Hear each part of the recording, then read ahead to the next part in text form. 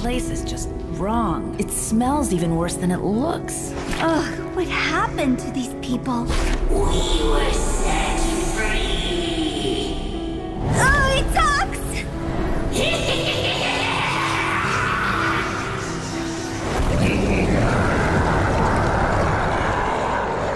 I love hanging out with you guys.